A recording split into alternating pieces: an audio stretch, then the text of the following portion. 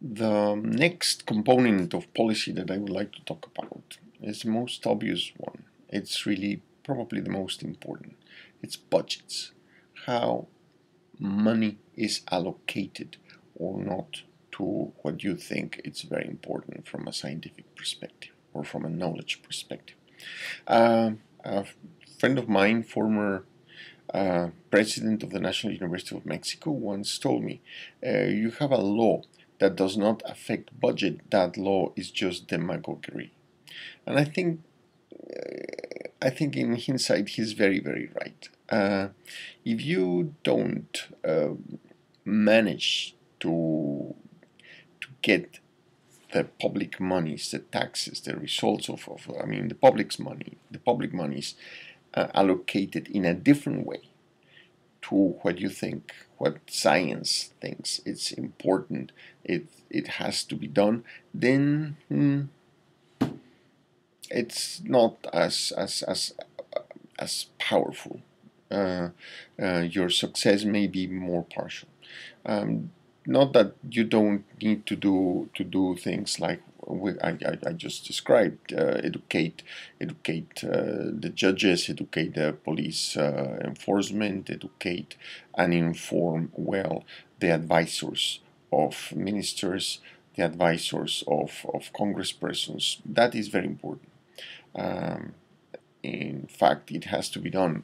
If, if you want whatever you're doing to be sustainable you have to change the education of key, key, key actors.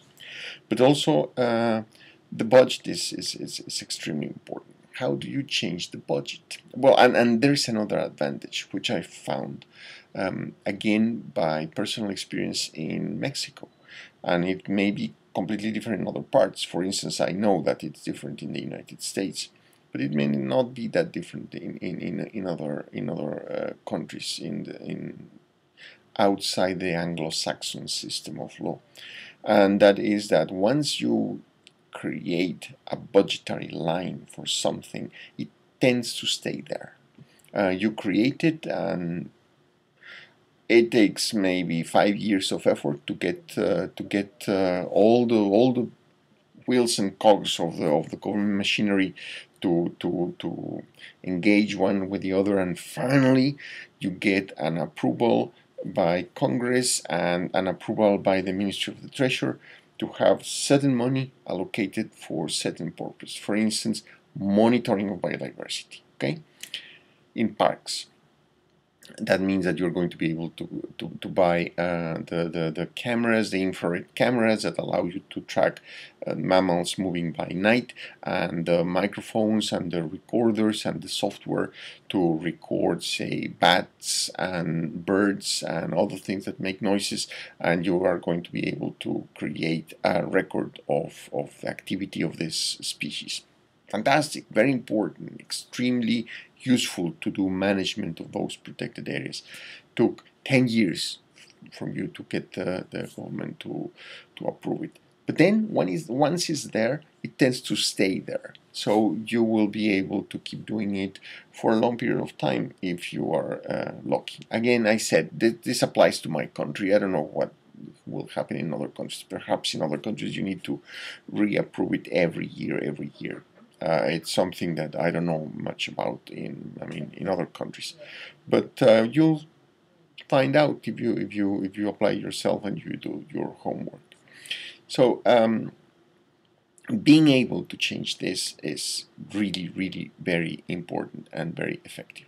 Um, one of the the situations in which uh, I was involved for, for, for many years in Mexico was the the the creation of a fund to um, to uh, run uh, protected areas. For years in Mexico, there was no um, uh, money for the protected areas. Protected areas could be just created in paper uh, by by an easy declaration that ended being a law. I mean, it was approved by Congress, but it was just like a polygon in a, in, in, a, in a map saying this is a protected area. No money, no budget for uh, the director or for the or, or for the vigilance or for scientists uh, in, resident scientists or for signing or for radios or for nothing.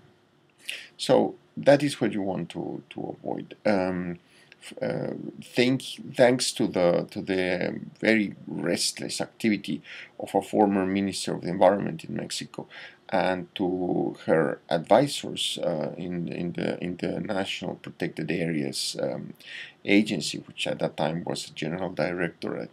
Uh, that changed in Mexico, and now there are budgets, and those budgets have been growing. Uh, now it's in the in the billions of, of pesos, which means hundreds of millions of dollars of American dollars. Um, that has signified a huge change, a huge change in the way protected areas work in the country. It took probably about 20 years to to start getting the proper first getting the budget, the funds, and then increasing them, and then being able to to spend uh, money in the most uh, uh, in, in, in, things that were very important that but the government did not like to spend for instance in cars uh, to patrol the areas. Um, and and this uh, change was possible in no small uh, way thanks to the fact that there was combination of efforts with the private sector and with NGOs, even with uh, foreign NGOs, to do partnerships and say, okay, you will pay for the salaries of the of the director and the, the personnel of the protected area. There is going to be a fund supported by the, the private sector in which we will, and using it, we will be able to buy the vehicles or the radios or the equipment. So it, it's, it's, a, it's a partnership. Uh, the government provides a lot of the money or most of the money, but there is a very significant component provided by the private sector where you get um, the complementary uh, resources required to do the operations. And this has been evolving and evolving in the last 25 years in Mexico, and now we have a reasonable uh, budget and a reasonable uh, situation with uh, several private trust funds which are specifically allocated for supporting particular activities in particular reserves. This works fairly well and I would suggest that uh, it's not unique to Mexico. There are many countries where combinations of this kind of thing have happened and um, you would like to think about this when you are thinking about um, your your uh, ceaseless efforts to change uh, science and knowledge into policy.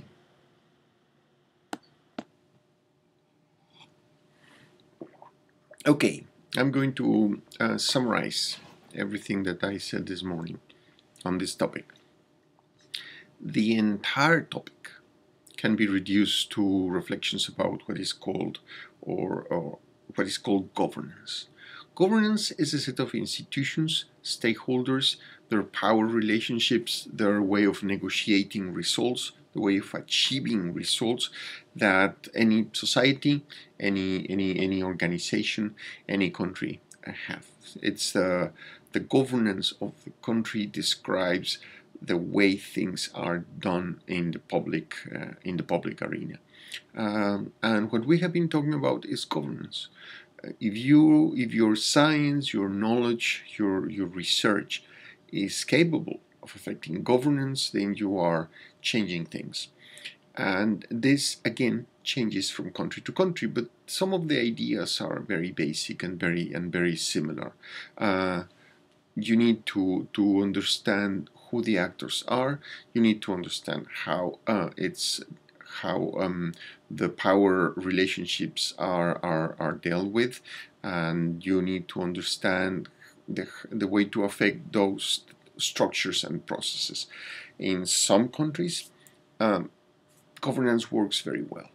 Uh, you have uh, properly and, and, and, and, generally accepted institutions, you have accepted um, processes, uh, ways of doing things, uh, your the stakeholders are serious, uh, they are stable, they have uh, clear and open um, aims and objectives, and the entire structure works well. There are even indices of this. Uh, the World Bank and other agencies, Transparency International, have calculated governance indices for most countries based uh, basically on the opinion of the people that um, the nationals of those countries and uh, the people, the foreigners that do business in a particular country. These indices are indices of uh, capacity to do to law enforcement, corruption, things like that. Uh, so um, these indices correlate um, negatively with the degree of um, affecting the environment in the different countries. If you make a plot of governance from, from very bad governance to excellent governance and the degree at which different um, environmental indices are um, being affected or described, the worse the governance the larger the, the, the effects on the environment. So what you want to do is to be able to change the governance about uh, biodiversity or the environment based on your knowledge. And this is what this entire thing is about.